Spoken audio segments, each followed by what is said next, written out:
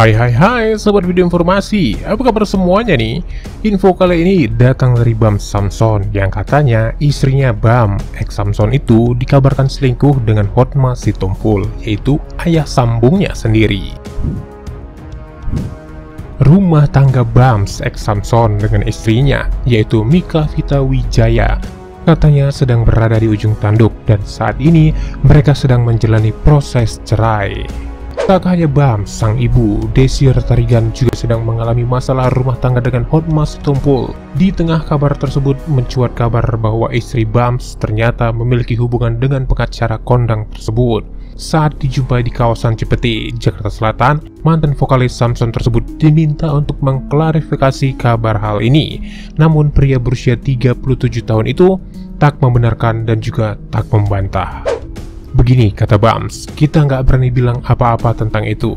Jadi kita namanya orang nggak bisa berasumsi. Meskipun begitu, pelantun lagu naluri lelaki tersebut membenarkan dirinya dan sang istri sedang menjalani proses cerai. Namun, perceraian mereka dilakukan dengan baik-baik. Saya memang sedang proses berpisah, tapi damai-damai saja. Sampai sekarang, kenapa tidak di Xbox? Karena memang tidak ada masalah sampai sekarang dan kemarin sudah bicara dengan pengacara kita sudah sepakat untuk berpisah, kata Bam Samson.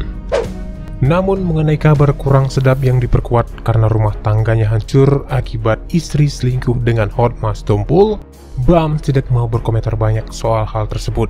Ia tak mau berprasangka buruk kepada perempuan yang dinikahinya sejak tujuh tahun silam karena tidak ada bukti. Dan seperti apa tanggapan Hot Mas Tumpul yang katanya dituding usir ibu Bams ex Samson itu dari rumah? Bapak Hotmas Tumpul membantah pernyataan kalau dirinya menolak menyelesaikan masalah rumah tangganya melalui rilis pers yang dikirimkannya ke media. Pengacara kondang Hotmas Tumpul tengah menghadapi masalah rumah tangganya. Ia dituding mengusir istrinya, yaitu Desir Tarigan yang juga merupakan ibunda Bams X Samson dari rumah. Desir mengaku dirinya diusir sejak 7 Februari lalu. Ia tidak tahu pasti alasan sang suami memintanya angkat kaki dari kediamannya yang terletak di kawasan Cipete, Jakarta Selatan.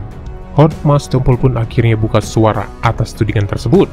Dalam keterangannya, Hotma menyampaikan beberapa poin terkait perhara rumah tangganya dengan Ibu Desir Tarigan.